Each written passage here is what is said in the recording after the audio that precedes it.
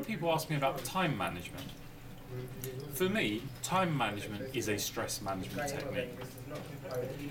We're living in a world where the pace of life is just increasing day by day.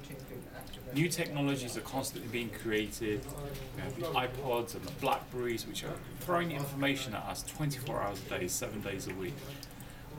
And astoundingly, some recent research has suggested that up to 50% of smartphones in Britain have fecal matter on them.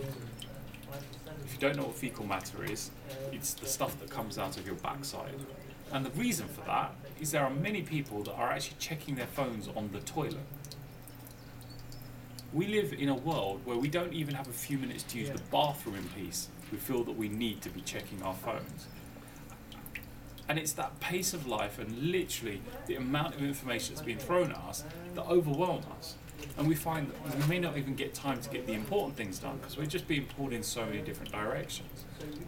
Time management is even more important in modern society than it's ever, ever been in human history because literally the, uh, the, the, the pace of life and the amount of information that's being thrown at us over, is beginning to overwhelm us.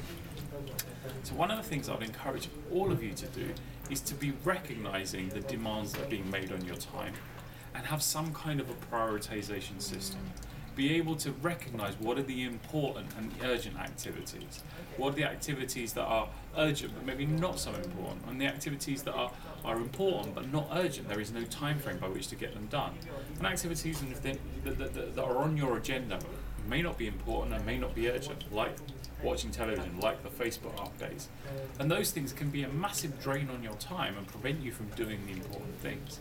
Because if you manage your time effectively, you'll find that your stress levels will decrease and you won't get overwhelmed.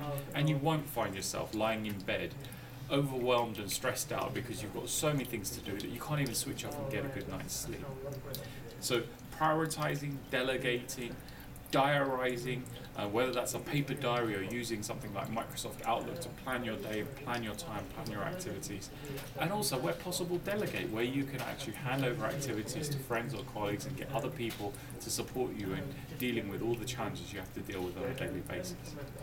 But as I said, it's very important if you want to begin to reduce your stress levels, ensure that you effectively manage your time.